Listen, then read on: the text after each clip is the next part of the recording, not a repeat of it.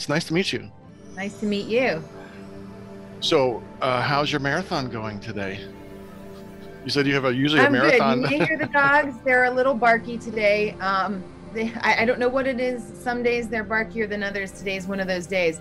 Um, but yeah, good. Um, I've, this is my let's see, it's ten. So four, five, six, seven, eight, nine, ten. This is already my sixth hour awake. So That's good.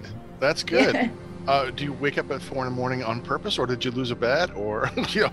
no, I wake up on purpose. Actually, the the story behind it was um, one of my cats who is no longer with us. So I have a I have a rescue home with 14 pets. Oh, it used wow. to be 15. Um, one of the cats who's no longer with us was one of those cats who loved to eat, and um, Obi, uh, short for Obi Wan, I'm a Star Wars fan nice, nice. um, would wake everyone, anyone in the house up at four o'clock in the morning so he could eat. okay. And and so we, I got so used to this schedule to get up and to feed him at 4 a.m. And then I, I just stuck with it because then I get up and I do my morning routine. I get all 14 dishes ready. I get all the human food ready. Um, I get to have a cup of tea in the morning uh, before I really get into any heavy work, and and I get to you know get a jog in and everything. So it's it's definitely on purpose now. It wasn't, but it is now. Oh, that's fantastic. Um, I love that you rescue uh, have so many rescue animals. Are are you like fostering them, or are you like just we're going to rescue them, we're just going to keep them, and they're going to live here with us? I'm a foster failure. I will freely admit that I cannot do that. Um, yeah. Once they're in the house, I, I did it one time, and they the dog went to a really fantastic home. Um, and I still to this day I'm like I should have kept that dog. I, I Um, understand. They're all mine. No, I I get it. Um, every every animal we've had has been like a rescue, and um, we don't have any right now. Uh, long story, won't bother you with it, but um, it's I don't uh, I appreciate people who can foster. I, I myself would be like you get too attached, um, Yep. you know, and that's my wife has always suggested. Well, maybe you should like volunteer down at the shelter. I'm like, I will bring them all home Mhm. you know, I, I will fall in love with every animal here and they, we will have 60 dogs in the house. You know, it's just not, it's just not tenable, you know, but um, so kudos to you for being such a good rescue mommy there. Thank you. Yeah, I'm the same way. I I barely can make it through like a shelter if someone's like, "Hey, can you come with me?" I'm like, "No." Because I'm going to end up with you'll end up with like one dog and I'll end up with five. Yeah. So, no. I, I get it. Um, are you, are you uh, are primarily cats uh, and dogs or do you like rescue other animals as well? primarily cats and dogs. I think like Okay. one time we did like a field mouse who had lost its mother. Um, and and here and there, like we'll we'll try to do like a I found a baby rabbit um who they're incredibly difficult to care for. You got to get Yeah. them really quickly to a professional. Yeah. Um, he did not make it. We tried to get him some food and get him there, but he didn't make it. But so we we stick to um dogs and cats because we can we pretty much know how to deal with those. Sure. Um, Right. And there's a reason, you know, as cruel as it sounds, it's like when the mom kicks those babies out, there's a reason. Like they're just not mhm. fit for this world. They're not going to make it, you know, same thing with squirrels and other small, you know, animals. And, but, the, you know, the heart goes out like you want them to survive. You want to Yeah. nurture them and then put them back out in the wild so they can have their best life, you know? So Right. I, I totally get it. I totally get it. Well, thank you again for uh, for coming on the show. Um, I'll I'll do my introduction and then um, we'll we'll get right into it. Does that sound All good right, to you? sounds good. Okay. Hey, this is Mark Justice, and welcome back to Between the Lines. Tonight, we have a really fun show with very prolific multi series writer, Nellie Steele. Nellie, welcome to Between the Lines. Thank you. It's great to be here. Uh, it's, it's great to have you. I uh, am so impressed, and I can't wait to ask all about your different series. Um, it was just like uh, I, I I love that people working in it's similar genres, but then there's uh, there's differences between them. Because I was doing my homework and looking at your series, and like, oh yeah, I, I want to read that. so let, us just start with something uh, big like big picture kinds of questions. Like growing up, who were some of your favorite writers? Um, I was a big Victoria Holt reader. Uh, after I graduated out of Nancy Drew, of course. So, you know, every little girl starts with Nancy Drew. And um, I can still remember trying to pick like the Nancy Drew book um, from the library. Our library actually at the time was in the basement of a tiny building that was our municipal building. Don't worry, we have a real library now, but it was in a basement. I can still remember sitting on that cold, uh, like cement floor, looking at this little tiny rack of books, trying to figure out which Nancy Drew book I wanted next. So I was a big Nancy Drew fan, um, which I think comes out in a lot of my writing. I, I was going to say that too. Sorry, I I was when I there was one series. Um, it might have been like the Lily and Cassie by, Lily the, sea. by the sea. I was thinking that sounds, or even also the Maggie Edwards, uh, also like sounded like very much like a Nancy Drew kind mm-hmm. of inspired. So thank you. Uh, I'll let you continue. Sorry. No, that's fine. No, that that definitely had some bearing on my writing. I love those books. I loved how empowered Nancy Drew was. Um, and that definitely inspired me as I, as I move forward, both in my real career, because the writing is actually my secondary. Um, I'm a, a, college professor in statistics and data science, first and foremost.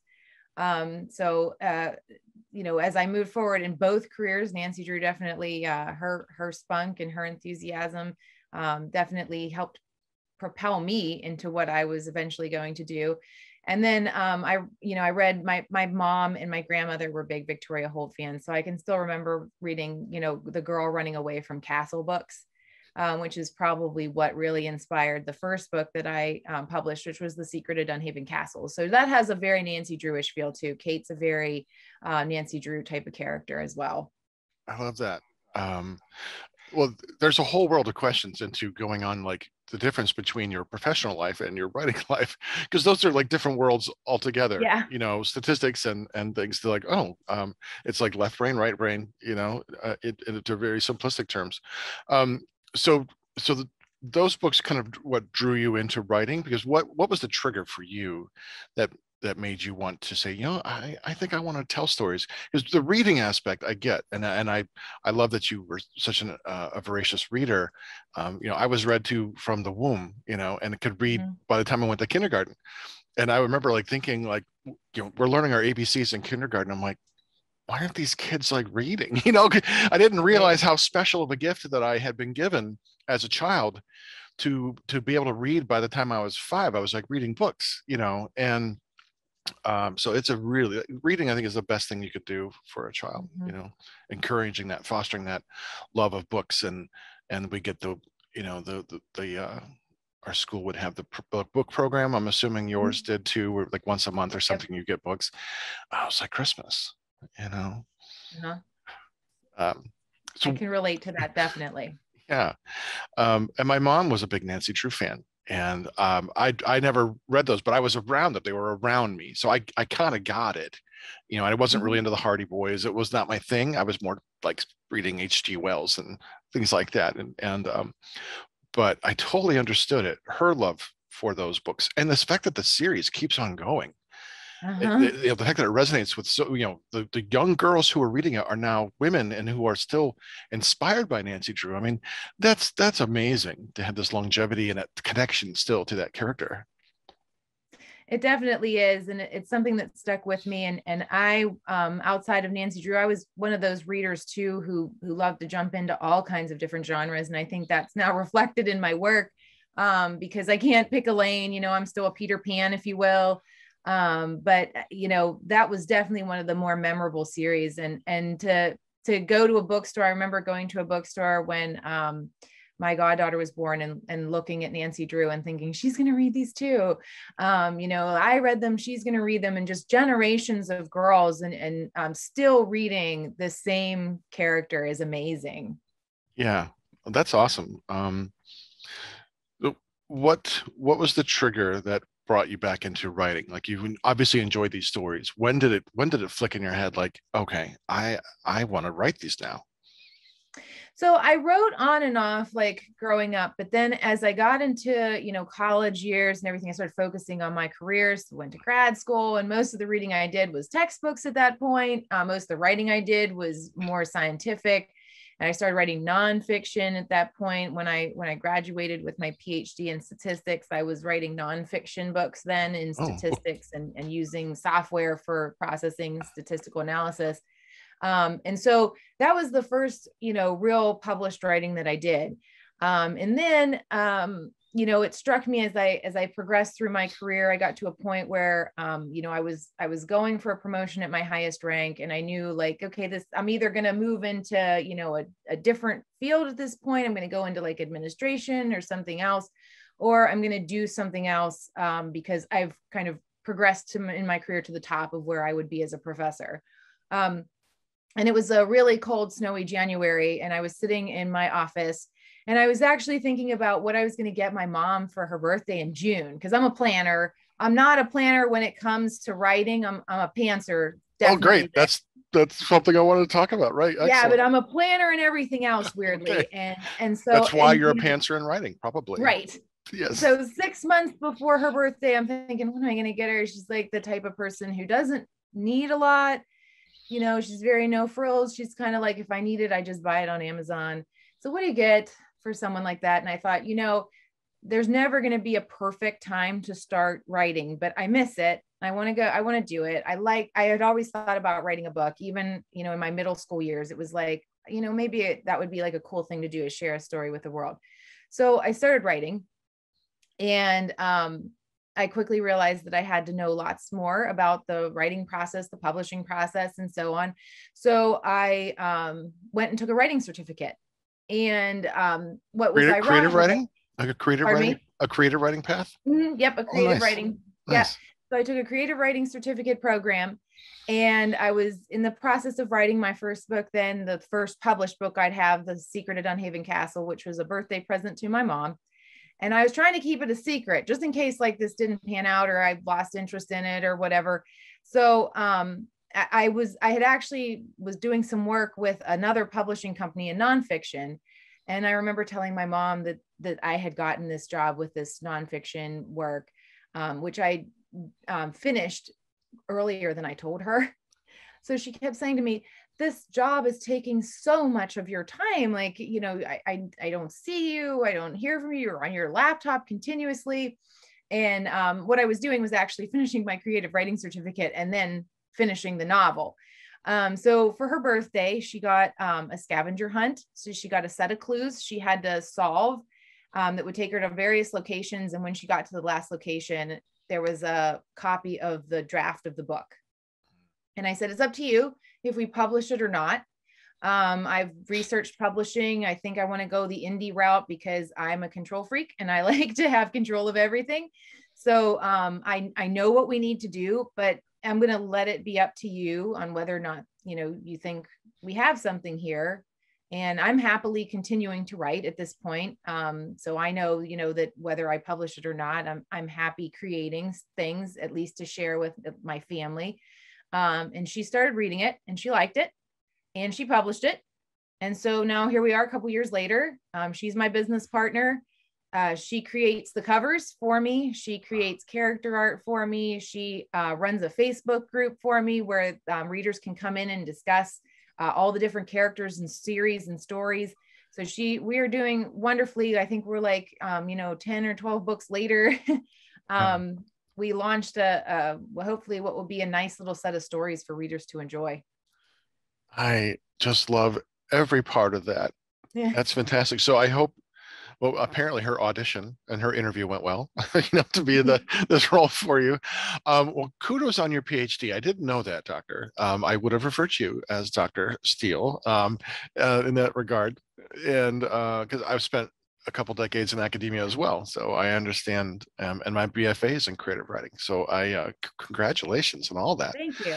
And um, that's what a delightful story. I, that it, it's so fun. Uh, I I didn't dedicate.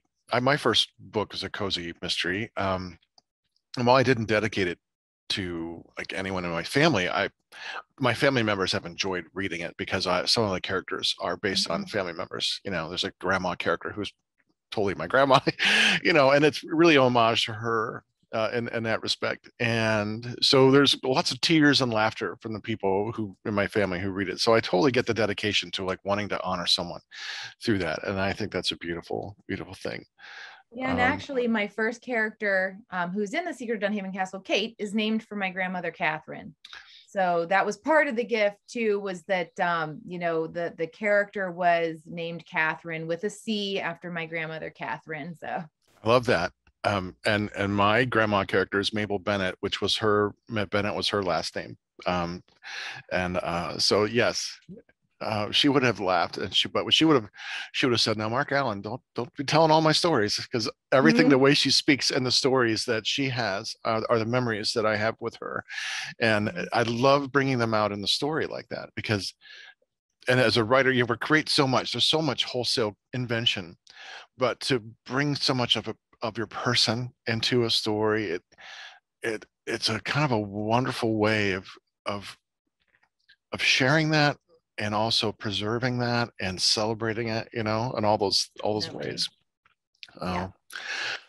uh, uh, well let's let's talk about your different series. I mean you got the duchess of Blackmoore mysteries you've got Cate Kensie, scottish highlands cozy animal mysteries lily and cassie by the sea mysteries shadow slayers supernatural suspense and in maggie edwards adventures and i like the one about the mystery of the ankhs i'm like ooh that you know.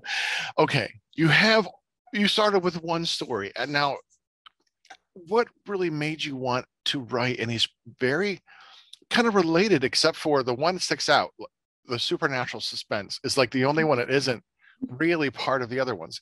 So h- how does it did you come from writing one book for your mom to saying you know what? I'm going to have at least five different series uh, working on. I know you said you were you couldn't stick in one lane. Is that part of part of the writing process for you? It's part of it. I'm I'm kind of an not only an eclectic reader, but an eclectic watcher, if you will. So, you know, I, I grew up watching things like Indiana Jones, which is where we get the inspiration for Maggie Edwards. You know, it's a modern Indiana Jones story with a female lead, um, which is sorely lacking in the market. Um, they tried know, with I, with Tomb Raider a little bit. Yeah, yeah, they tried with yeah. Tomb Raider. Um, we and I enjoyed that uh, that series, but you know, Indiana Jones is really the iconic one you look at National Treasure, it's got a male lead. You look at the major right. uh, writers in that genre, you know, you have Cussler, Rollins, and those types, and they're all male leads for the most part. So, sure. you know, yeah. I try to bring a female lead into the into yeah. the mix there. Um, but um, I I also watched lots of supernatural things. So Dark Shadows was a favorite of mine. Yes. Um, lots of people ran home to watch Barnabas. I didn't quite make the cutoff for the first time around, but I watched it on Sci-Fi. Um, my mom was a run home and watch him. So she introduced me to that. Absolutely loved the work that they did on that series. Great storytelling, great acting, um, really fun. Um, I know it's a little bit quirky and people kind of laugh at it now, but I mean, the work that they did on a day to day basis to, to pull off what they pulled off was phenomenal. Um, yes. And that show stuck with me. And that's where Shadow Slayers comes from. Okay. It's really um, in that vein. It's really a tribute to the Dark Shadows. It, I mean, if if you read it, there's a character in there, Celeste, who is you know the Angelique of the series. You know, she's very beautiful but very cunning.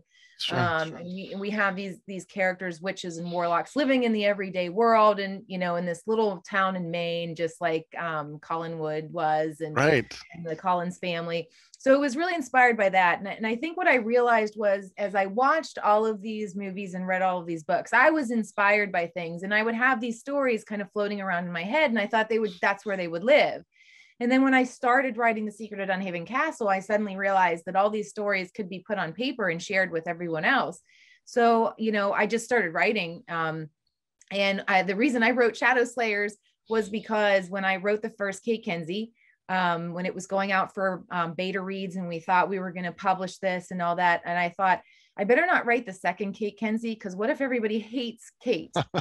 and so I wrote the Shadow Slayer story next okay. because then if everybody disliked Cate, it was like, okay, how about this one? We'll try that instead. Sure, right. Um, so you know, I wrote a variety, and then as I started writing those two series, you know, other ideas populated in my mind, and it was like, you know what, I loved Indiana Jones. I'd love to do something like that, so I wrote that. Um, I grew up reading Victoria Holt, which is historical fiction, girls running away from castles, and the um the, the gothic story, theme, just yeah, like in the fun like, story yeah. with with Lenora is um she wasn't actually a thought in my head until that cover came. Um, it was a test cover for Shadows of the Past, and it did not fit the series at all. But I fell in love with the cover, and I was like, please don't get rid of this cover because i'm gonna i'm gonna write a book for this cover because i love it but it cannot be for shadows of the past it just doesn't fit with the Right. with the genre and the theme of the book um so i i you know started i was looking at the cover i would look at it every once in a while and suddenly she pops in my head and you know i'm i'm a pantser my characters tell me the story and i just put it down on paper. So you know i, I got to a point where like you know laying in bed at night i could hear her talking and telling me what her story was going to be and then i would start writing it. So so that book was actually inspired by her cover instead of you know the other way around. The cover is usually inspired by the book but that one came from the the cover itself so I love that. Um, this is this is really the reason why I started this podcast. Um, I've been doing two other podcasts. One, Unsane Radio, I've been doing for almost three years, um, and Heavy Metal Horror I started uh, almost a year ago. And uh, but this one, because I've met so many interesting people on Instagram, and a lot of writers through Instagram, like you, and I'm intrigued by their their stories, what they write, their their the genres in which they write, and it's been such a supportive community. It's like I need to get to know people more. I want to hear their stories. I want them to showcase them what makes them them. And and hearing your stories, it just it just fills me with such joy. Uh, because I was I grew up watching Dark Shadows because my mom was one of the kids who came home and Mhm. watched it, and so when it was on reruns in the 70s, that's when I started watching it, and I just fell in love with it because I was a monster kid. So the, I would never have watched a soap opera had it not been for the fact that there were vampires and witches and werewolves and you know that's what I was there to see you know this unfolding story. So I I totally totally get that. And my mom was a gothic reader so I would always see these books and I was a little too young to kind of get the genre it wasn't anything that pulled me in because it wasn't scary enough for me like you know the cover but i see the cover it's a painted cover here's a, a woman in a in a white dress and she's running away and there's this this wavy ocean crashing on one side and this dark castle looming in the distance on the other and it's at night you know so i completely get the that gothic feel from that uh, and i tried reading it i'm like eh, you know? I'm like where's the monsters? You know? I was wanting it to be scary. Where the ghosts? You know? It was too gentle for me at the time but um but i i, I just i love that. I love that the reasons why you brought up all these genres and had inspiration from just a picture. And um, I want to talk to you about pantsing as as we go. I want to, I do want to talk about that because I'm a I'm a, a plotter. I'm a planner. Um, um, and and the idea of pantsing a whole novel it, it blows my head. It's just like I I, I, can't- I don't even I lose words because it just like it like starts frying circuits, you know, in my head. Um, but we will get there, I promise. Uh, I do want to ask you though, like, what makes a good mystery to you?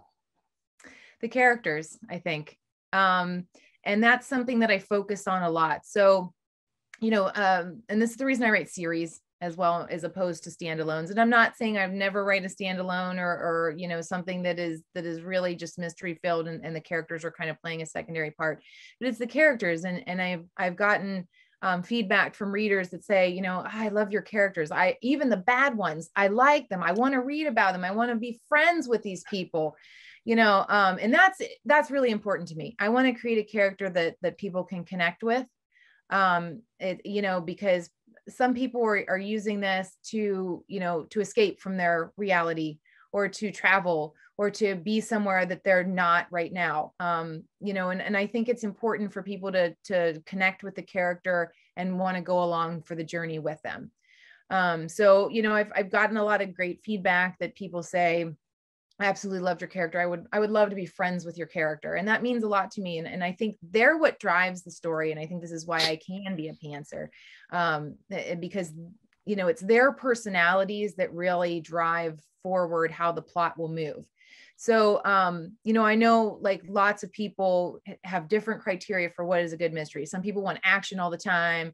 Some people, you know, want some comedy involved um, but you know i for the most part want to be invested in that character. And and again that's why i write series as we move through you see more things going on other than the mystery. So there are parts of their lives involved in in many of the stories um, in terms of you know um, when Cate goes to scotland part of um, book one is literally her going to scotland because this is a major change for her.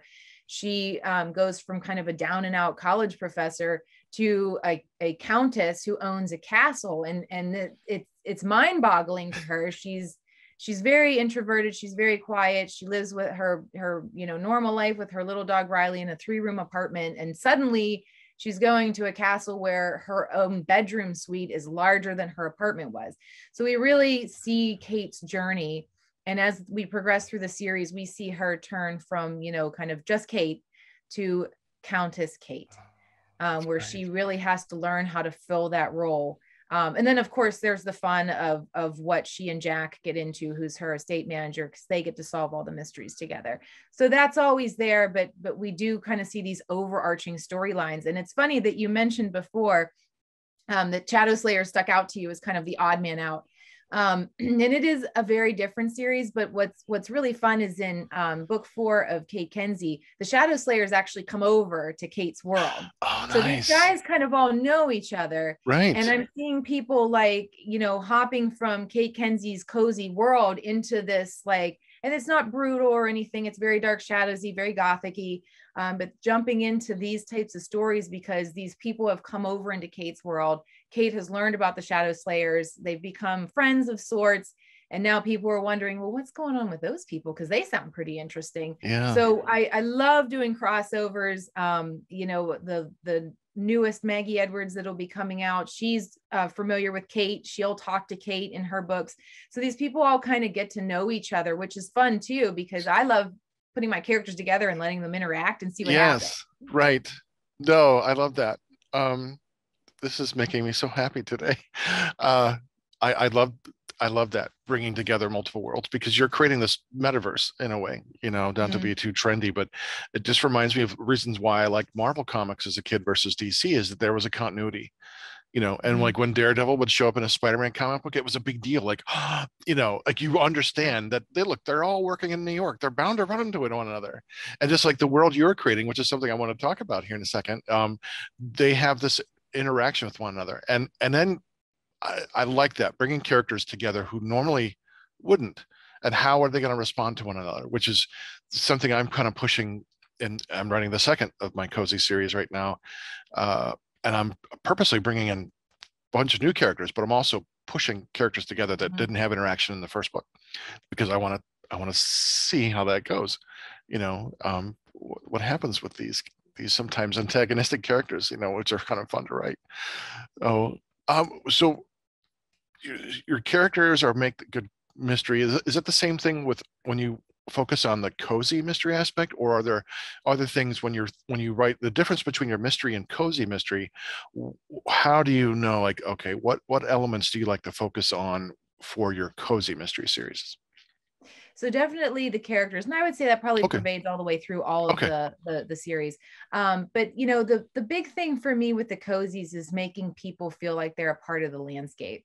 Okay. So you know, I want you to feel like you live in Cate's castle. I want you to feel like you're a guest there, like you're you're participating in her life like you're participating in her mystery um, and that's the biggest thing i think that drives the Cate Kensie series which is still my most popular series um, is because people feel like they're a part of the fabric of her story. Okay. You um, want to be in this the, town. You want to be involved in this community. Right. You you feel a connection to this this place.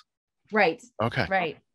And I think the characters really drive it all the way through even the other series. So, you know, you you want to be a part of Maggie's um, team as she, you know, jets across the world and tries to find Cleopatra's tomb um, the the character relationships in Shadow Slayers. I, I think I had a, an editorial review that says this reads like a supernatural soap opera because the relationships are so intertwined and so there. And and my um, the the narrator who did the first three books in that series for me used to say the the stories are so complex and the people in them and how they weave in and out together.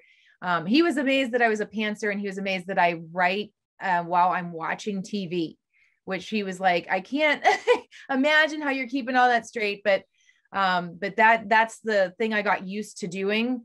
Sure. Um, so you know, now uh, I'm used to having background noise and mm-hmm. and I was a big soap opera fan and they used to do the crossovers on the soaps and stuff like that. Like they'd bring Adam Chandler over to, you know, One Life to Live and with Dorian and that kind of stuff. So I was, I was so that was such a big deal to me too when they'd bring the other character on because you'd see people mix that didn't normally mix, um, which is why I love to do the the crossovers and I and you know I think that um that that really impacted me too. And I watched all those you know 80s late night soaps like Dynasty and all that, and the dialogue is so fantastic and so over the top that I think that yeah. really feeds into especially like Shadow Slayers um, is a big dialogue based book. There's a lot of interaction between the characters. It's a large cast of characters. And so that's something that drives that series um, as opposed to like the cozy mystery where you're really kind of a part of the fabric of the story. Okay. I like that. I mean, it makes perfect sense.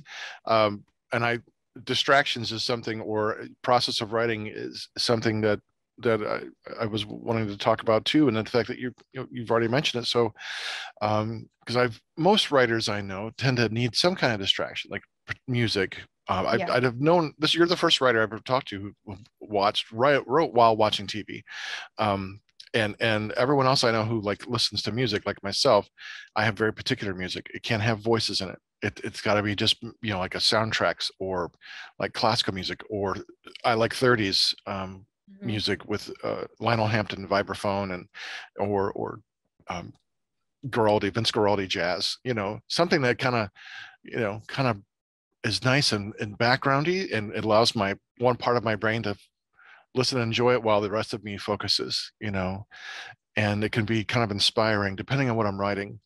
You know, uh, when I wrote my last pulp, it was an action horror pulp, my homage to the Phantom, the pulp character, the Phantom. So it, was in, takes place in the 1930s near Haiti, on Haiti and nearby.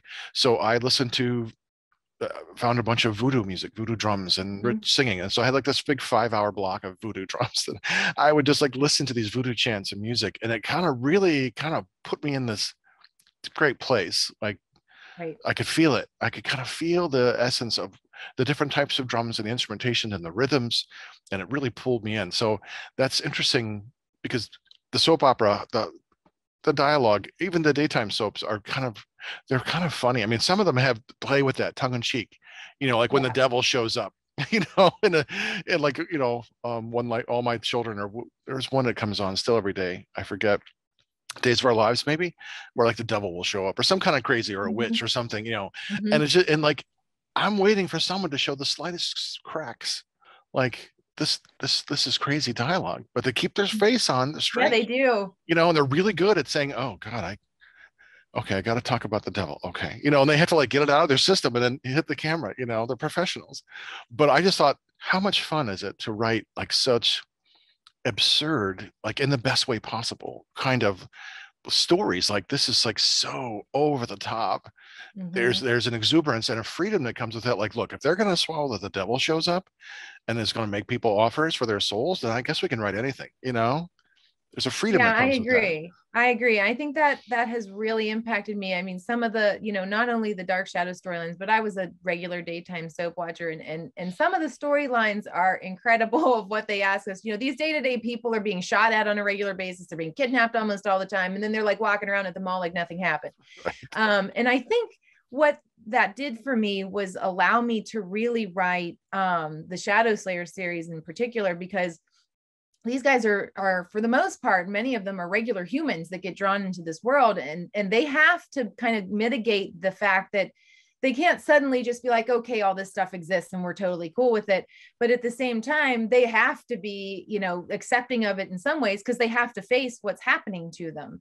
So i think that's where you know as odd as it sounds soap opera dialogue has really helped me um, in terms of writing because you know you watch these people on soaps and these in these really serious situations and they they do a little tongue-in-cheek stuff sometimes but they take it very well but then at the same time there there's a little bit of hold back where they're like i can't believe this is happening right. you know they do have a breakdown every now and again and, and i think that's what helps me make my characters more realistic to what people would expect because you know i've read books before and um and i've enjoyed them where the people you know they go all in on paranormal stuff and the characters don't say boo about it you know they're just like mm-hmm. yeah oh okay i have powers now all of a sudden and you know, here i am right. and it's it's a fantastically great way of hand waving at it and saying i'm not going to deal with it and the characters are just going to accept it which is which is a wonderful tale to tell too but um i always find you know i always put myself in the situation and i would be thinking I'd ask questions. There would be things in my mind that I'm like,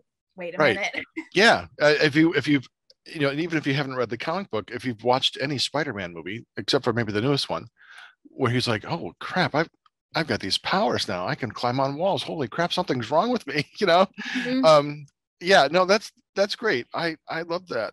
Um, so since you are someone who likes to write in multiple genres, uh, are there any genres that you would like to try writing next or down the road? Like, are you going to do science fiction or straight horror or you know something of the sort? I've considered doing more of like a horrorish type of genre in the future. I, it's definitely something I've got. I've got uh, in my um, you know list of future work. It's something that I would like to try. I'm a little bit afraid that I'll scare myself. Um, so when I write, you know, when I watch like the spooky movies, like you know, Haunting of Hill House or anything that's like an iconically spooky movie, yeah, I probably don't sleep for an hour or so that night because I'm like, eh. so I'm I'm a little worried, I'm a little reluctant that I'm going to frighten myself with what Sure. I can write. Right, right. Um, Because that id and, comes you out know- and it's just like it can be way more terrifying than anything you consciously could think of. When when you let it go, uh, right. it reaches right down into the what terrifies you, and that's what comes up. Yeah. Right. Yeah. So I, I would like to try it. I do like to watch movies like that, even though they frighten me. I do like to read books like that. Um, you know, like Haunting of Hell House and all that kind of stuff, and, and just see, you know, what terrifying things people come up with and and then end up terrified myself. But it's definitely something I, I've thought about. And and I one of the ones that you um you didn't mention, I don't think, and I, I think because it's still it's been announced to like our exclusive group of people, but it, I think it just was announced the other day, or it's coming up to be announced soon. Is I wrote a pirate adventure series too. Oh I didn't no, on- I didn't hear that on your list, and I was thinking, no! I was on your website.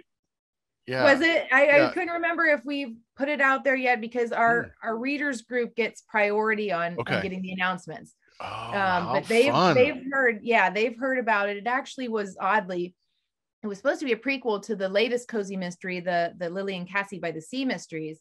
Um, it was going to be a prequel to that. Um, lily and cassie move into a house where a pirate's sister lived. And they're you know they learn a little bit about the pirate and the sister. And i thought you know i'll write a reader's magnet and it'll be like 20000 words and i'll just tell a little bit of the backstory of um, these two characters.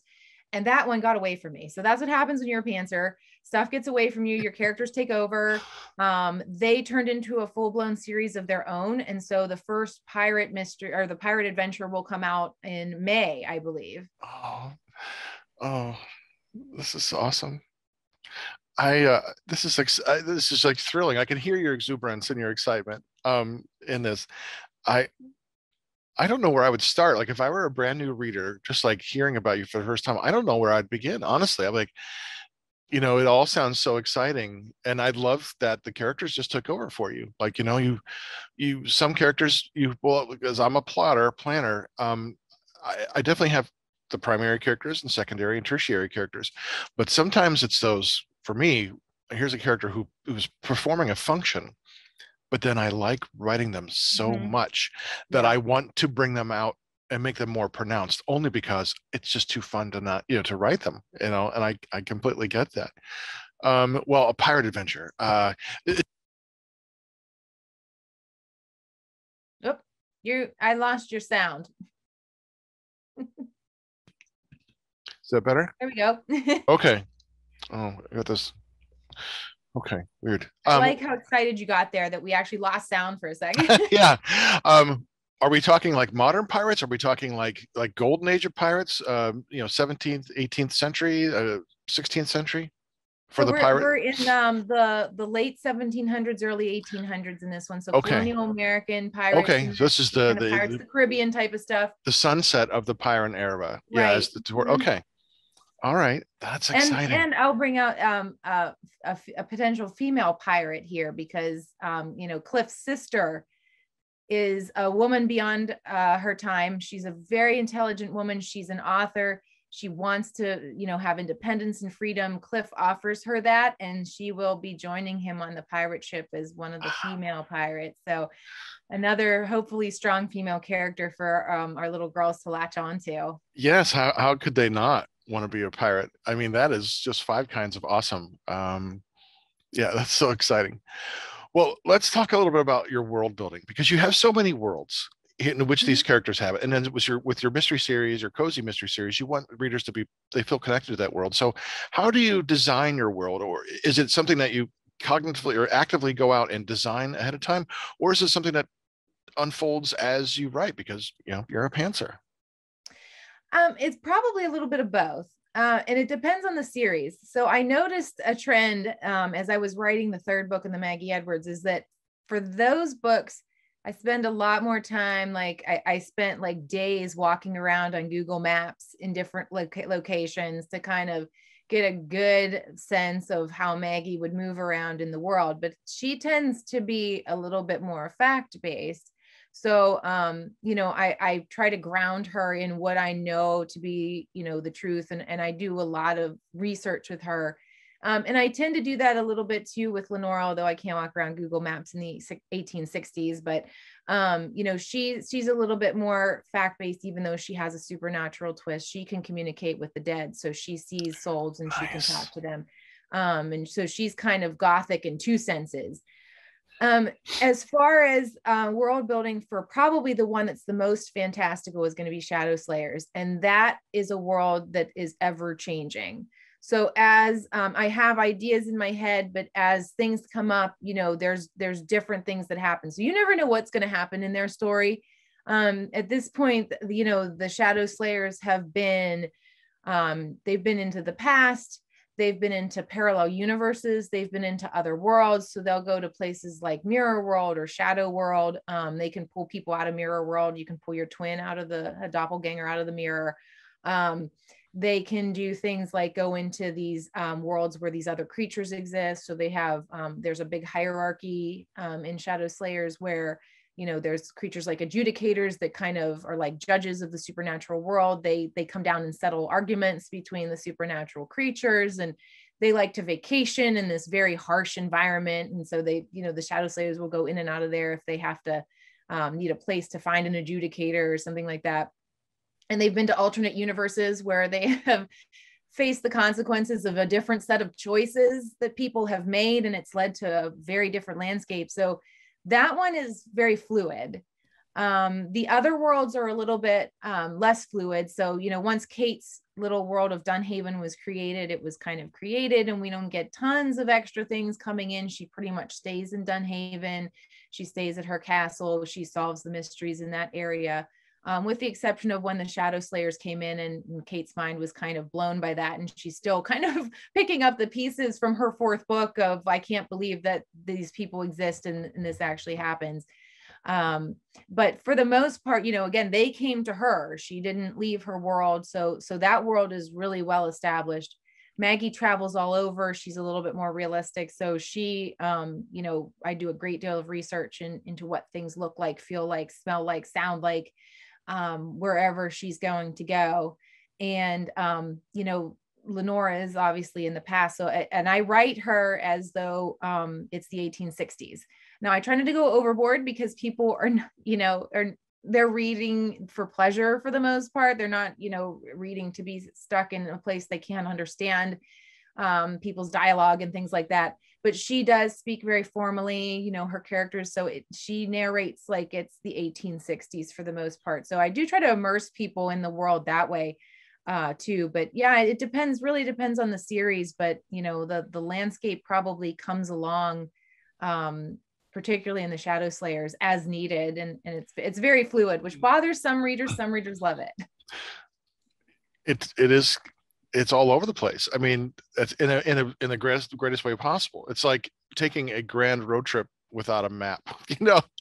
It's like i know we're gonna we're gonna just go this direction. We're gonna get there hopefully eventually but who knows how we're gonna get there you know in, in time. Um no that's that's kind of great. I like how it unfolds as you need it you know? And and but in that in that aspect. But your other series this is a grounded reality so you you're catering to your series to your to your subject how much i guess grounding that you do mm-hmm. i mean with the shadow slayers because of the nature of the cosmic nature of their of their of their travels i mean uh, different planes of reality and different universes kind of thing then it, all bets are off i mean you really can't right. other than once you've introduced something then unless that in and of itself is a changing universe then that's how you're creating as you're going. You're just like throwing stuff out there like yeah why not? You know uh, in an infinite number of universes and realities uh, everything goes you know? Um, that's awesome. Um, okay. We've you've talked a lot about developing your characters. It sounds like when you think about your place and your character you said the characters talk to you and mm-hmm. and that's how they kind of tell you their story. So of all your characters you have ever created which one would you like to sit down and have a drink with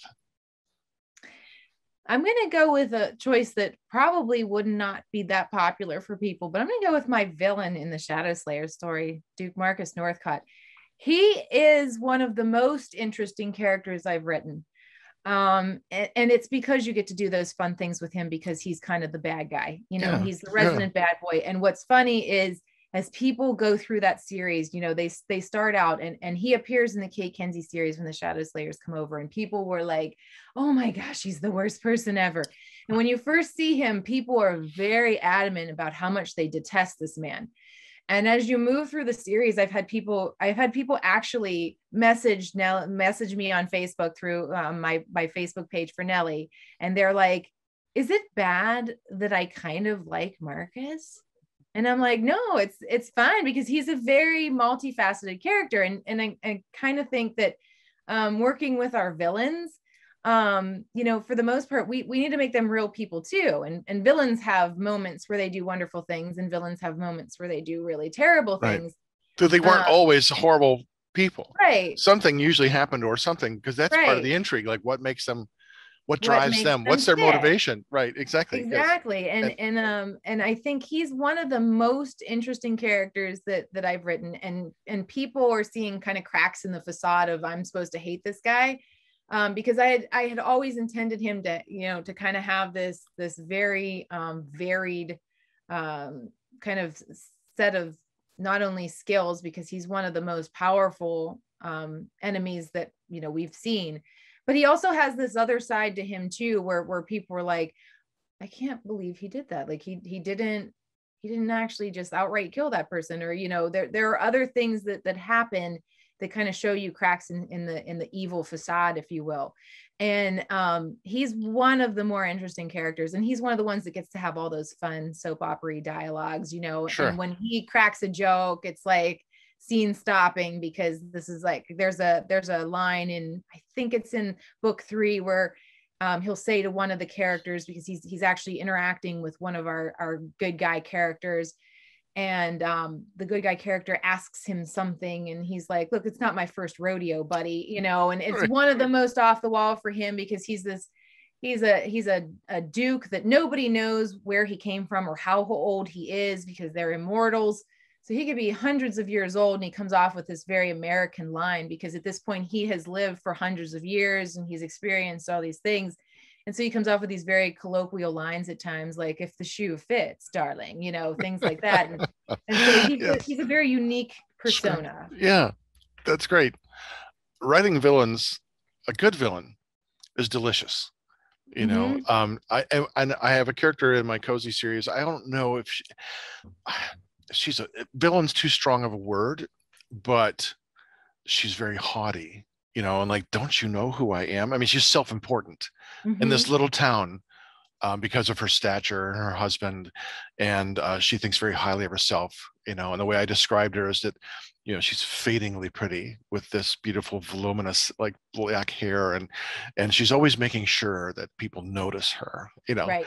and and she has to be called by all three names you know not just her first name you have to address her you know and and she has several runs with the main character uh, you know to the embarrassment of the main character like oh you know uh, who's been gone for a long time and then she finds out she's look, being looked down upon. Don't you know who I am?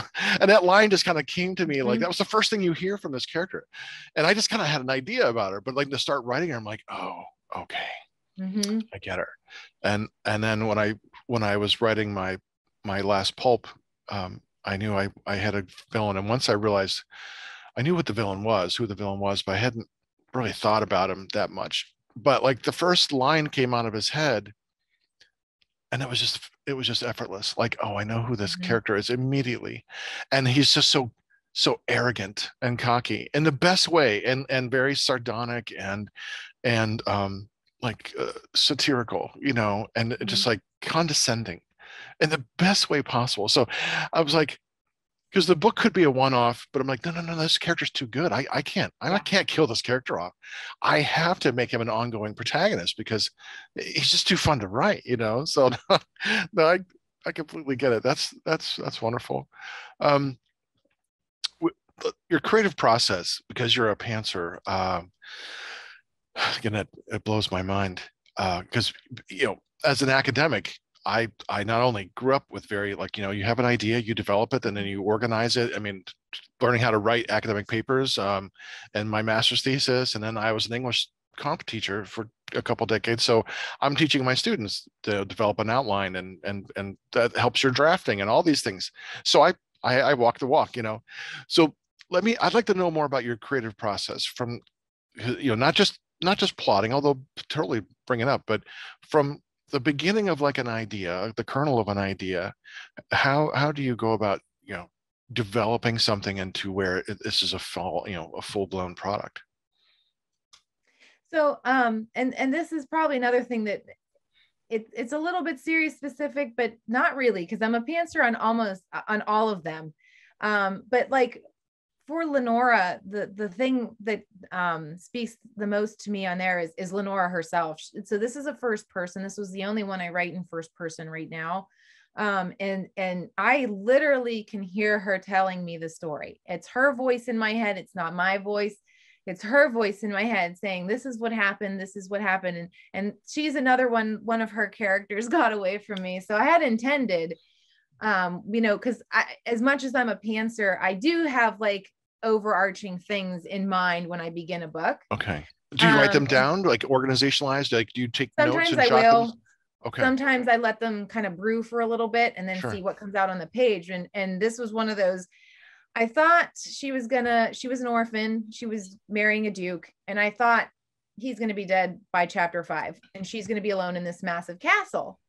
He's still alive. It's the end of book two. He's going into book three. He's still going strong he did not want to die. Um, she did not want him to die. And so, you know, I, I, I completely changed the landscape of the story because I had intended, uh, I had intended for her to be alone in this massive castle um, after, you know, he passed away shortly after marrying her. And that did not happen at all. Um, so those are the the types of things and similar with the pirate story. I had intended them to just kind of you know tell a little bit of how they became you know cliff became a pirate and and they lived and died and that was the end of it. And that very quickly did not happen. I hemmed and hawed for a long time about what was going to happen there because i tried to fight them a little bit to grab my story back and they were like nope this is what's going to happen. Um but you know I, I usually have like a kernel of an idea. It can come from anywhere, surprisingly. Um, you know, when I write Cate Kensie, it's um, it her big deal is that she goes back and forth. She time travels, so she you know goes back and forth um, in different time periods. So it's like, what time period do I think would be cool to visit? Is usually where my idea starts. The last one, the one that I'm actually working on now, book five. Um, I I was going through stock music to do a book trailer to pick music for a book trailer and happened upon this song and was like, okay, this is the idea for book five. So it's this song that we're going to go with. It, it sounds like a music box. So there's a music box involved with the, with the story, and that's pretty much all I had. And then it it just comes from there, um, you know. And when I really get into it, uh, and I really you know get into a scene, I don't know necessarily where the scene's going to go, and sometimes it just blossoms from me putting myself in there with the character and letting the character kind of dictate where they're going to go and what they're going to do. Um, so, you know, I, and I usually have an idea kind of this is where I'm going to start, and this is maybe where I want to end up. And whatever happens in the in between there is a mystery, even to me as I write. Um, and then as I start writing, um, you know, I'll be like, oh, okay, I can get this scene and this scene and this scene, and I'll start to fill in in the landscape. But I, I generally have like, like a start to finish, or even like a series arcing. Like I know, like I knew that I wanted to bring the Shadow Slayers in when I started writing book two of Cate Kensie. I was like, I know I want to bring these people together at some and I, I couldn't wait to write that book. That was one of my most fun writes because um, I was throwing all these people together. They were getting to meet each other. Um, and I had been excited about it since I published the, the first book and knew that I was going to do this. So I do have like long-term ideas. How we get there though is is a matter of um, what TV show you're watching at the time, right? yeah, yeah, right. Yeah, um, that that's great. Uh, now, would you, jumping back and forth in time, do you then obviously as an academic you're comfortable with doing research. So do you do research for these books like ahead of time? Or when you find out something like oh we're going back to this time this era i probably should know something that you know because the, the good is in the details or god is in the details depending on on your point of view. So so do you do research? And if so what kind of research do you do I do. A lot of it that I'll do is um, like what I call just in time research because I, you know, sometimes will not know that I'm going to suddenly be, um, you know, going to this specific place or doing this specific thing. So then, like, when I hit that moment in the story, it's like, I got to know more. So, you know, I start Googling, I start reading, I start figuring out other, uh, I start watching um, programs about it and things like that to, to learn more um, I start walking around on Google Maps in some cases to see what you know what this place may look like, or you know a, a similar place that I may want to invent.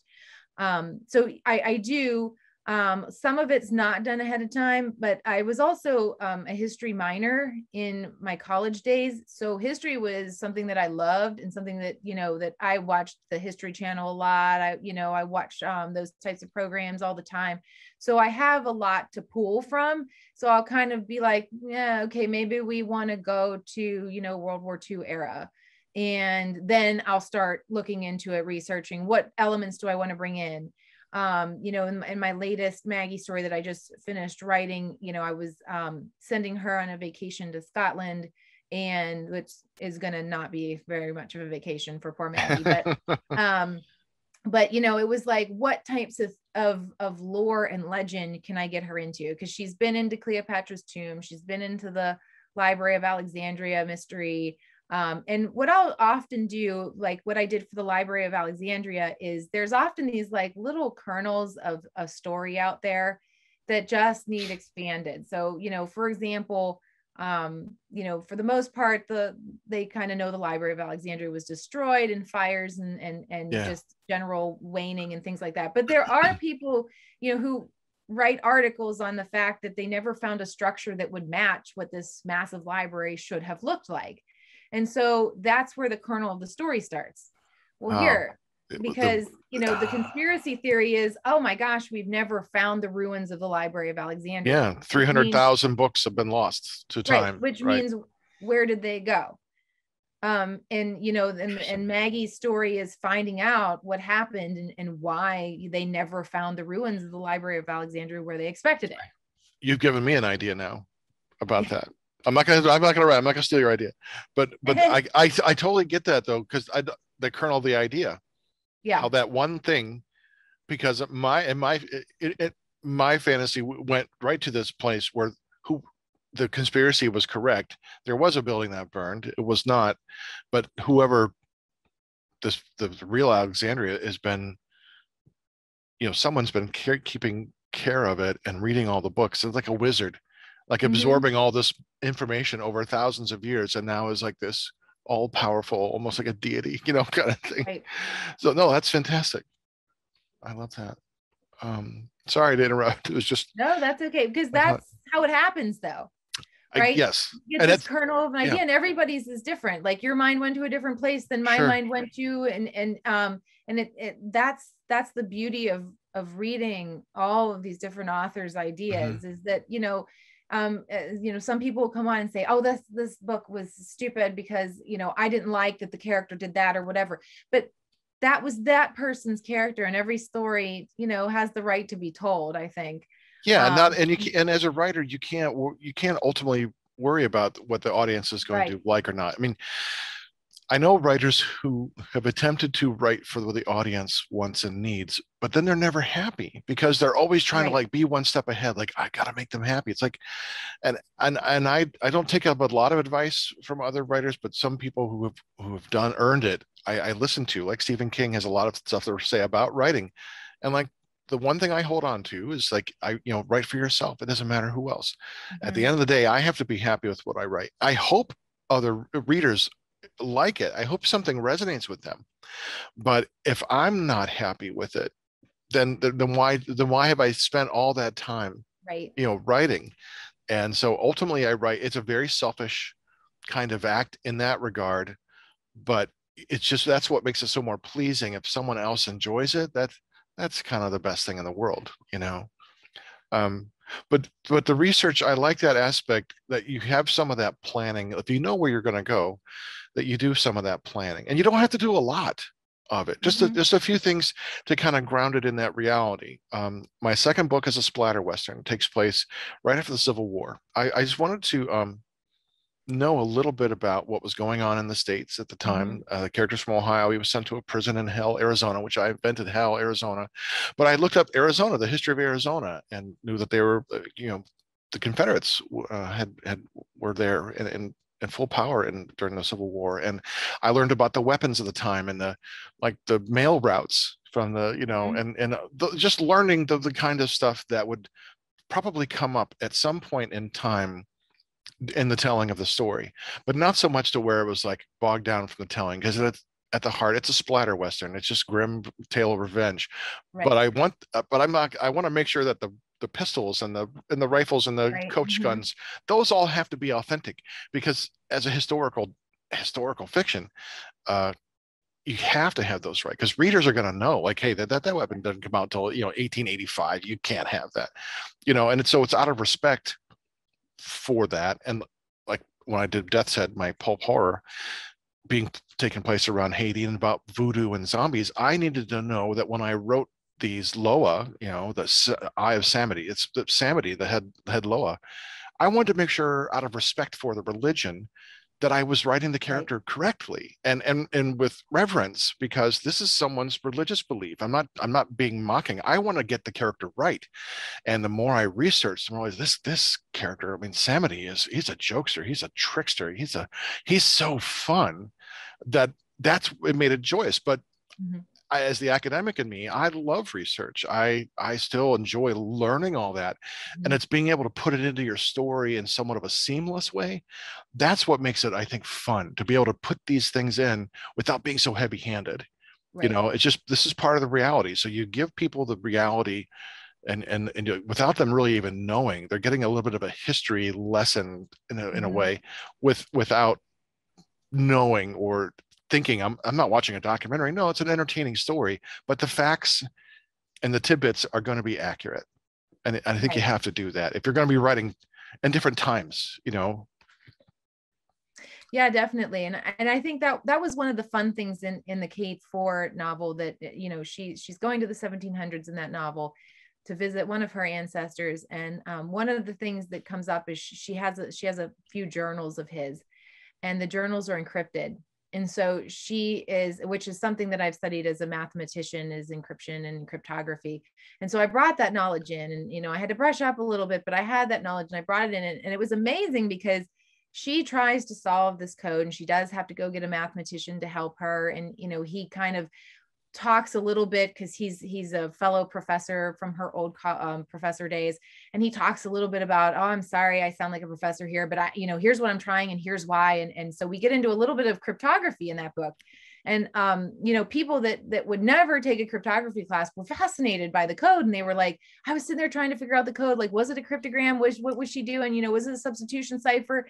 And i was looking things up and i was running it through and i was going through the process with Cate that she goes through and that's one of the most fun things i think is you can put those details in and people can like latch on to them and learn something that they they haven't learned even though it's a fictional world um, that, that there are some details that we do ground um, you know in in reality. So you know i had to i had to look up when specific ciphers were you know were common and, and what was used and what could have been used and, mm-hmm. and how can i modify it to fit the century and things like that. So sure. it, it's a fascinating process and and i enjoy learning those little factual tidbits and and things like that. So it's fun for me. Yeah. Well if you ever do another dark a dark like suspense thriller fantasy with that character um, I don't know, you could maybe have her work on the uh, Gemini ciphers, you know, right um, which still remain unsolved. I mean, there have been many theories, but none have been proven Mm-hmm. to be true. So honestly, no one really knows. Um, even though a handful of people have been come forward and said, "No, it was my uncle. My grandpa was the Yeah. the Gemini killer," and you know, with all this evidence, and there's like four or five stories of men who could be the Gemini, or some that are very compelling. Um, you know, especially the one who was in the army and did cryptography and Right. learned ciphers. I'm like that, that that's pretty compelling. Yeah. Um, no, that's I love that. That's that's great. And and I know other writers who write fantasy because they don't want to do the research. Like they can just invent it up, hmm which which I I get too, but you, there still has to be a consistency and a grounding in a reality of itself. You still have to create a reality that right it works, whether it's mirror universes or whether it's gothic castles. Um, you know, you still have to have a reality that's consistent with itself, and um, so that's that's great. Your process of sitting in front of the TV and writing, I would I would it would be so I I probably couldn't do it because I would just be you know, I, my process is so different. I mean, I got to be in my room. It's got to be, I have to have a certain block of time. I need to have my music on. So, do you have a favorite time of day to write? Because if you're sitting in front of the TV, you could write. You could be writing any time of the day. I and I sometimes do. Um, I, I have I started writing in the evenings um, because you know I was I still work full time uh, as a college professor, so you know I spend a lot of my evenings writing, and then um, as I kind of progress through my career, I, I have mostly online courses now, which means that I have asynchronous courses. So I'm basically fielding questions all day long um, which frees up my time to go back and forth between projects. So, uh, you know, now I find that, you know, depending on the story, um, I, I may work a little bit in the morning. Um, I'll do a little bit in the in the late afternoon, and now I've been kind of reading in the evenings because I have my new blog where I, you know, do reviews for authors, um, especially indie authors who are looking to to kind of build those reviews up and be featured. Um, but you know, uh, I took the weekend and I did writing um, in morning, afternoon, and night. So I did like an intensive write of writing weekend this last weekend, um, and I, I wrote at all times of the day. Um, I don't know if there's a favorite time for me. Probably my afternoon sessions are my most difficult because you know my my brain is a little bit slower because I'm not fresh in the morning.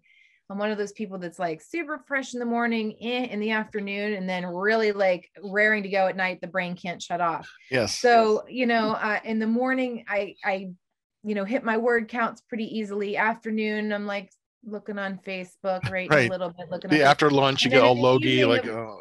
Yeah. right. and then in the evening, of course, the inspiration starts hitting, and I'm like writing until bedtime yeah. um, and hopefully the mind will will shut off. But um, yeah, I, I I I have the one thing I have learned though is to write every day, okay. um, and that's something that you know that people kind of don't believe um, authors do or you know actually actually uh, do but that is the thing that consistency was really the key for me. And even if it whether it was morning afternoon or evening get those 500 words in or get those thousand words in or whatever your daily goal is and it doesn't have to be huge um, but writing every day has trained me to push through those tough story points where you're like okay she just had breakfast what's she going to do now? You know or or like i just finished a major scene and now i need to write those few paragraphs where she doesn't really do anything but you can't simply leave her at the end of the scene and then go you know the you know, two days later you know Cate's doing this. Um so you know there are things that you have to push through and writing every day is something that that i've learned helps push through those because you just have to do it. You just have Right. to sit down and, and you know finished is is is better than perfect um because that's the other thing people struggle with well this isn't perfect it's never going to be It's never going to be. You you come to a point of diminishing returns, and that that mentality prevents you from going on and creating other things. exactly. and and yes I, I completely get that and sometimes even though you know the um the consistency is key even even though you know you sit down and you realize what i write today is probably not going to be any good it's almost irrelevant because Mhm. it's it's like you get it out of the way then. Or sometimes when you know when you're writing you know something is not going to fit in one work.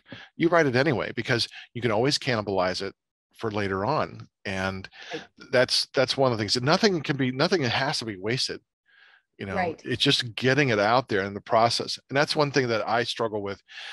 Well i'm back in grad school uh, and i'm doing podcasts like my creative life is taking other directions. And sometimes it depends you know i i i did other things. I did academic stuff did a lot of academic writing that i made some movies and now i'm doing long fiction and now i'm doing three podcasts. And so there's all this uh, speaking of changing lanes creatively creatively um sometimes i want to write like i got these stories. They're telling me you got to finish me. But i'm like but i'm doing so many other things right now. And it's just a trade-off. Like for now my efforts going here but my stories i'm still going to finish them they're, they're you know um but no i but i get that. Consistency is key and and Mhm. and uh whether you keep it or not it's just that the habit of writing is very important. I, I Right. completely understand. Um okay. Tell me how you felt seeing your book in print for the first time like holding it in your hands. How was what was that experience? Yeah. It was amazing.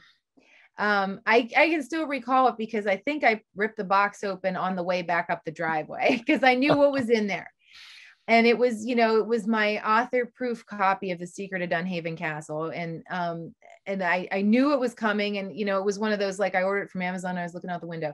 Um, is it here yet? Is it here yet? Um, and they're pretty good about telling you when it's like six stops away. So I knew and like I ran out to the mailbox to get it. Like the ice Um, cream I- man's coming you hear the ice cream truck's coming like i'm gonna get a snow yeah. i'm gonna get a, I'm gonna get a screw and and I can't I don't know if I can you know I'm I don't think I'm as as good of a writer that I can fully capture the emotions that I felt in that moment when I opened that book and I saw the words I had written on the page. Mhm. Um I don't know that that that I'm I'm that good of a writer to capture that. It was amazing. I I mean it was it was a life-changing moment. Yeah. And then for me, it was because I had five beta readers and editors to go along with me. It, my joy quickly turned to horror um, when I saw those first couple typos. Like, oh no, yeah. you know. And I started. Get, people were buying it. Uh, excuse me. And then sending me pages like, "Hey, you got a typo here." I'm like, "Oh," you know. That that though changed the how I viewed it because I did all my editing on the screen, and but they they always say, look, get your author copy. There's a reason you have the author proof. Read it Right. because you Mhm. will find mistakes there on the Mhm. page that you don't see on the screen. And um, you know, I was completely ignorant of the process. My first book through, it's like, but now I know better. I, I get that Mhm. author proof. I was like, oh, okay. And I'm getting better every time I go through. But I thought for sure five people reading this, they're gonna bound to have caught all the mistakes. You know, Right. no. I had, yeah, I had like um, six people read through it, and they, you know, it's true what they say. The fastest way to find your typos is to hit publish because as soon as you hit the publish button, there they all are. Yes. You know, Yeah. Yes. I know. Then like, I remember I was like, it was summer before last, I think, and, and a book that had been out for like six months. And I'm Mhm. like reading it again because that, that's something else I wanted to ask you about. I'm reading it like just just like there's a weird it's, it's a very transcendent bizarre experience to read a book that you've written like a year or Yeah. so year or two after you've written it because for me anyway it was like I, I know i wrote these words because i was the one writing them but i don't remember like what i Mhm. wrote it was just like reading someone else's work it was like being in two states uh, two bodies at the same time like a like a dream state where you see yourself in your dream right. um, and and uh, uh, uh, so I'm reading this book. I'm like, oh, you know, some of this is actually pretty good. I'm like, oh shit, there's an error. I got to I got to find that. Like, and so I'm like, okay, I found two mistakes, and I had to go back in the KDP. I go, okay, where's my document? Fix these two, upload it again. Like, you know, and you feel like a moron. But um, what are the, have you read your early books like a couple years yeah, later? I like, have. And it is an odd experience. And I think it's because, you know, and they, they tell you this when you start writing that, you know, 10 books, 20 books, 30 books along the way, that your writing will transform, that you will grow as a writer. And it's true that you do. And so sometimes I cringe a little bit when I read the first few books. Um, but the, you know, the, the thing is the stories are there and I still enjoy some of those stories that I told. um and and i think i think the other thing the other way that that that uh, you can kind of catch typos and, and is very odd the first few times you do it is um i i have mine created into audiobooks and hearing someone read your work to you um, first of all you can it's like there's the typo right there you know um as you're reading through and proofing their work. what what is Flogganugan yeah. yeah but um you know hearing someone bring your story to life um and and sometimes you know, for me, depending on on the schedule that my narrators have, uh, it, it can be a month, a few months after, and I'm like, wait, did I write this? you know, it is one of those deals where I'm like, I, I, remember, like, obviously I wrote it, but I don't remember, you know, this this right. particular part or what's going on, or, um, but yeah, you know, it, it can be an interesting experience to go back, not only you know to see the difference um, in your writing and your mm-hmm. writing style, which there definitely is um, but to see kind of the innocence of those first few stories that you told sure um, you know the the first few times you put yourself on the page and and you know what that meant to you and and you can almost kind of see yourself holding back a little bit um, because you know you're you've you've put things out there but you know in in my books now like i'm like going for it. And if it doesn't work the beta readers will tell me and i'll you know right. pull back a little bit. But in the first few books i think i kind of was so um, intensely worried about making um, making you know grammar proper and people sound like they were talking correctly and things like that. And and now i found that you know that people people don't talk like that. Like dialogue needs to sound like people talking right um and so you know i've i've adjusted and i've taken you know the feedback from people who haven't liked the book and you know some people don't like the book they don't like the book but some people say you know well the thing was i had trouble getting through the dialogue because it was like you know she said he said she said he said and it's like okay good point i put way mm-hmm. too many saids in this novel or something like that so you know i've right. learned from the process and so going back um, and reading your early work can somewhat be horrifying in some instances but i think there's also an innocence about it. There's there's this this idea that you were you know putting this story out there for the world to read and and i think there's something special about that. Yeah. Well you're doing something that a lot of people say they want to do but very few do. Mm-hmm. and I, I forget the writer who says this but there's a he said people who say i wish i were a writer really meant i wish i would have written. Like i wish it was already done because the act of writing right. can be challenging it's hard it's mundane it's laborious you know and there are times it's just like for me, when I hit about 75% done with a novel or the draft, I'm ready for it to be over. Like it is a slog fest. That last quarter is like, uh, because I've already played the end out in my mind a thousand right. times. Yep. It's like, I know it, but you have to write one word at a time. You're building the great wall one brick at a time, you know? Mm-hmm. And um, no, I, I, I totally, I totally get that. And, and there are times because all my books have been like kind of not one shots, but the first ofs. So when I went back to write my sequel to my cozy, about three months had passed in the story. It's a four story uh, mysteries. That's all, one for each season. So there was a winter book. Now it's the spring. So I, I knew only a few months had passed in, in the character, but when I came to it, I was a little apprehension. Like, mm-hmm. okay, it, you always get that. Like, is this was this like a fluke? Like, did I do something that I can't do any better or something? Mm-hmm. But like once I kind of got in, like the first couple sentences in, I realized, okay, I feel like I'm back in this world again. I'm back with this characters again. I the only difference was is I felt more confident in my prose than I did right. in the first one. And I kind of wrote about that in the first book where there's scene where you know, because Abby comes home and she's just lost her job. She was a teacher who lost her job and she's just trying to find herself. And so I'm using Maslow's hierarchy of needs throughout the book as her long story arc, and she's trying to reach self actualization. So her first book is on that base level. She's trying to find a job and have her needs met. And now the second book, she's evolved. She has those met. So now she's working in the next level up, which is relationships and connections and trying to figure this out. And she's a character who's in her head an awful lot so the narrator goes back from this omniscient narrator to her like she finishes sentences you know in her mm-hmm. own in her own inner monologue. So i wanted to kind of play with that sense of this murkiness of of the the messiness of relationships. And also it ties into spring. The early spring is so messy. It's the leftovers of winter. It's all dead and yucky. And everyone focuses on you know oh easter easter. There's this is all this is a lot of good friday you know um, mm-hmm. before but you can't ignore the spring tropes. You have to, you know, I'm writing a seasonal book. I have to bring those in. But for me, it was a lot of fun to kind of play with that sense of murkiness. Like in the first book, she's trying to deal with her depression and figuring out what to do. So all these kind of imagery, it but it paralleled my like not knowing what to do with this book. This is my first book. I've written movies, I've written other things, but never a novel. And so her imagining like swimming through this like dark and trying to find herself without knowing is there an alien shore at the end? Is there a light? I can't see anything. I don't know how to get from where i am to where i want to be. There's no there's no guideline. That was me as a writer like mm-hmm. hoping that i'm i'm getting somewhere. I have an outline. I've got 16 page outline. It's color coded. I know what i want to tell but am i doing it successfully? Am i going to do it?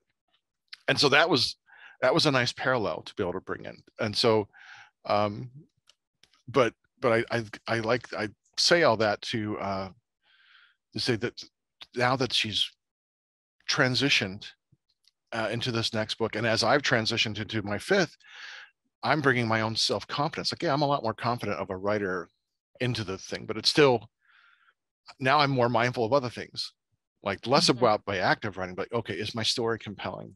Is this am I still going to tell a, a, story that people are going to want to read?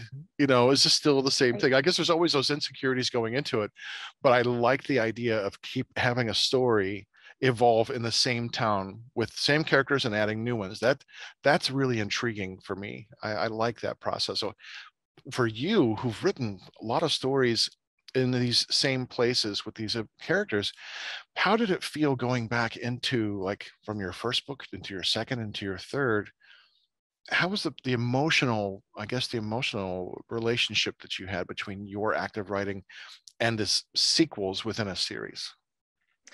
You know i think the most fun part for me of going back and like looking at the progression and and i would say this consistently happens in in most of the series that i've written especially the ones that i've got like four books out in is that not only can you see and I, and I, I think it parallels what you said not only can you see the the development of the writing but you see the development of the characters. So it's almost like me on the page mm-hmm. right? Because you know and and it was interesting when you said you know she's kind of feeling her way through and you felt like that as a writer.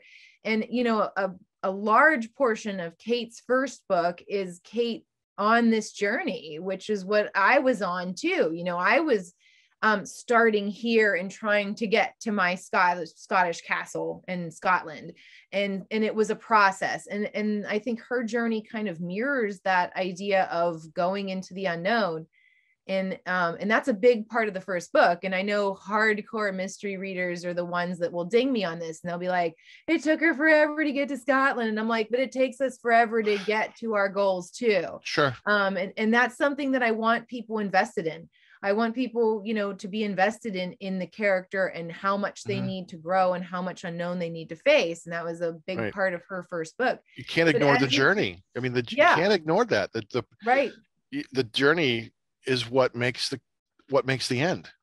Right. You know, it it it's like Lord of the Rings. you know, the, you have the beginning, they get the ring, and at the last five pages, they throw it into the to the mountain. Right. And you got a thousand pages of of the journey of just you know it's like it's the road trip is not the destination it's right. what happens you know and i think i wonder if people uh, forget that that there is something grand and good about the journey and that's the messy part though the messy yeah. part is the journey and I, I, that was something i bring up in the, the first like it's like it's like being in a liminal stage you know you're between right. um and that's the in between that is the messy part and not knowing how you're going to get there. But that's where all the stuff happens that who you are at the end of that journey is directly the cause of what happens during the journey right you know the hero's story this is this is how the hero becomes the hero or the villain becomes the villain it's and what happens yeah. in the journey and i think that that the thing is and this is this is like what i noticed throughout my series is that um you know these characters evolve um, and there's you know, if you would read them start to finish, um, and and you know, even though I I kind of didn't write them like from one book one, book two, book three, you know, I went back and forth with different series. You will see kind of the maturing of the characters. Um, and in a way, it's the maturing of me as a writer too, but you will see them evolve and you will see them change. And if you didn't have those first few rough moments of the journey, you know, you wouldn't know how awkward Cate was, or you wouldn't mm-hmm. know how innocent Damien was before he became involved in the supernatural world. You wouldn't see the, you know, why Celine acts the way she acts, or, you know, why Lenora tends to be guarded. And, and you need to have those moments with the characters, those rough moments that aren't the most exciting, they aren't the most actiony, but they're what drives the overall character arc from, like I said, you know, just Cate to Lady Cate. Mm-hmm. And, you know, Damien, the introverted uh, software engineer, to Damien, the shadow slayer, who is risking his life, who is, you know, on the brink of death at several moments, who is saving other people from death.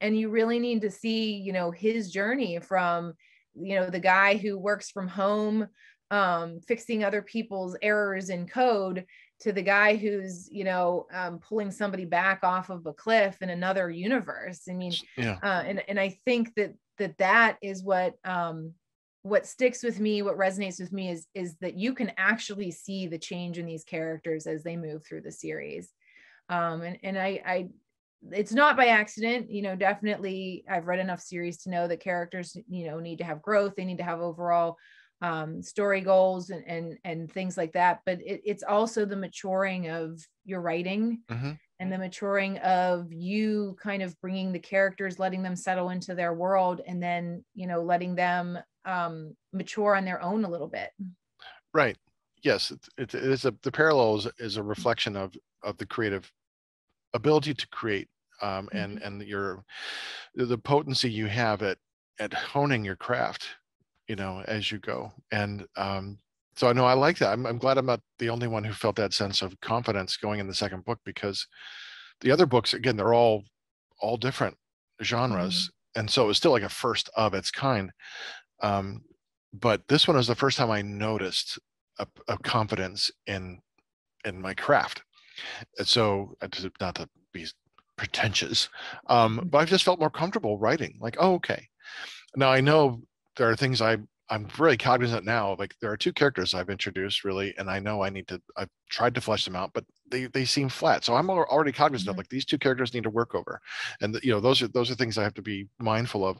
But that's okay. It's just getting it out there. So my my rough structure, my rough draft is going to be better, and yeah. I can go back and and you know, but still, I'm I'm feeling good about how I write, and so that's that's exciting as for me, my own personal growth as a writer. So, um, because I have two other series that I'm working on the second books for as well. So my next splatter western is coming out after this one. So I'm, I'm confident like going into it, like, okay, so th- it, it kind of propels itself in a way, which makes me excited to, to keep on writing. So I just have a few more questions I'd like to, to ask and then, but you know, I won't keep you all day. Um, what is your writer fantasy? If you have one if you could like say yeah this is this is my ultimate dream as a writer this is what i want. You know i really and i know this is going to sound cliched but i'd really love to see my work on screen. I think they'd be great hallmark movies. Um you know i think Cate Kensie is is a great hallmark um kind of gal. Um you know of course maggie edwards i'd love to see an indiana jones style movie there but um and i know that's something that lots of writers talk about but i think you know, growing up watching um, in the TV generation and watching a lot of TV and, and watching, I know there are people that are visual people, and I'm certainly one of them. I mean, like I said, I, I watch TV while I'm writing, um, and and you know, uh, I'm I'm a firmly a believer that TV is not something that just rots your brain. You can learn from it, you can be entertained by it, and um, just as much as you know somebody who's who's who's reading a book and so i think to be able to share that with a new set of people to be able to share the stories with a new set of people and and to really see the stories come to life in terms of um, you know I, I describe the scottish highlands or i, I describe the the desert sands you know when maggie goes um, in search of cleopatra's tomb. But to see that landscape kind of laid out visually i think would be fantastic. Nice. Yeah that's good. Um, my my first cozy actually started off as a movie idea for Hallmark. And um, long story short, the because I didn't know they were looking for writers. Um, I thought, oh, they're never going to want, you know. Uh, so I went on their site and said, yeah, writers wanted them. Like they were just starting their fiction um, branch. I'm like, oh, and I thought, well, I, why not? You know, so I turned this into a book like in like 60 days, you know, and and then my cousin, I who's an attorney, I said, look over their their their terms and conditions. Something doesn't seem quite right. And long story short, basically they said anyone who submits books to them, they can keep and use any part they want because it's mm-hmm. a cozy mystery, and uh, they don't have to. You know, you give up all your rights to um, like take them to court and for for plagiarizing. I'm like, because you know everyone so many people have similar ideas so they're just taking the ideas and i'm like well no i'm not gonna why would i give you a book and then let right. you have all you want like no and then give up my rights to like get you know pay for it. So that's why i thought no nah, i'll screw that. I'll just i'll do indie publishing. So but i get it. I mean it, it is hallmark friendly. It's it's not there's no murder. There's no blood. It's right. there's a mystery but there's no blood. So no i i i totally understand that. But um that's a good fantasy. That's good. What advice would you give for anyone who wants to be a writer? Get into that routine of writing every day. And I, you know, this is something that I probably didn't think of or know of until you know somebody told me and people told me. And and certainly there's this idea and it's it's proliferated in movies and and things like that in books um, of the writer who is like writes when the moment strikes you know right. like the muse is gifting me i must yes, yes. they drop their groceries on the floor and they race in because they've got to get it down and i certainly do get that i mean there are times when i'm like crawling out of bed and i, I got to get this down because it, you know i this is a fantastic thing i have to write it um but where the rubber meets the road for an author is getting all that mundanity done. Like you said i mean and and my and my mom says this all the time. She goes i love reading your books. I would never write one. It's too mundane for me. I can't imagine putting those little details in or those little tiny conversations that you know that not only further the plot but also build the character. Um and and so i, I think you have to train yourself to do that.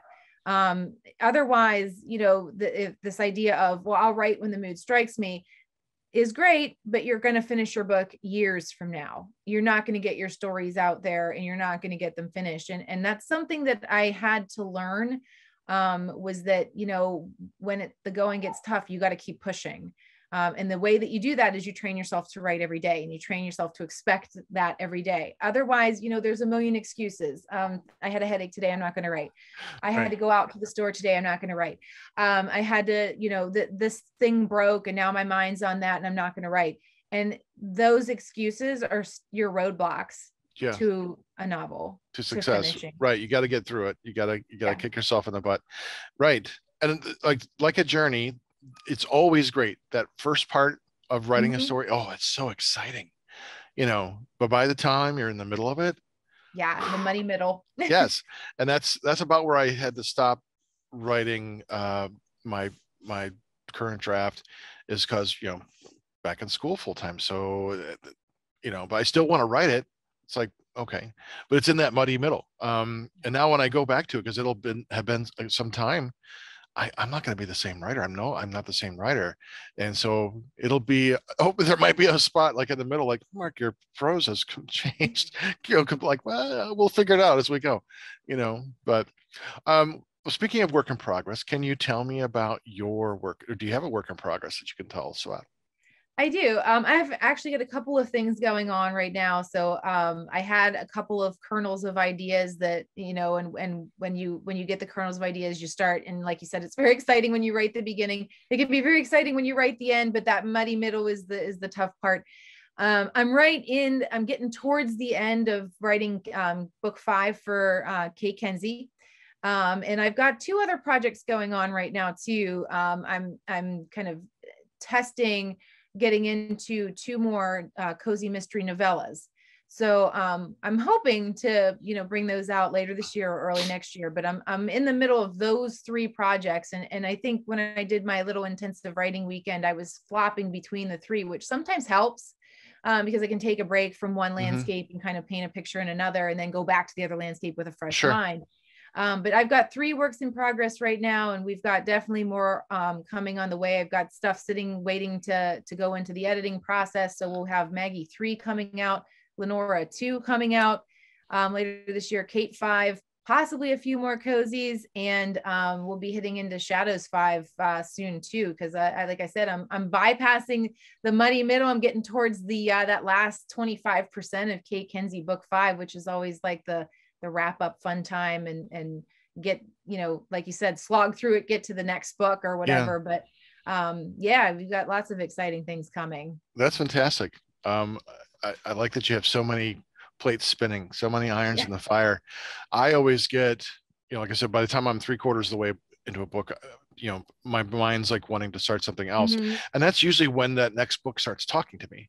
Yep. You know, like three quarters of the way through my cozy, Gage Black, that's my splatter western, started like saying, and I could hear his voice.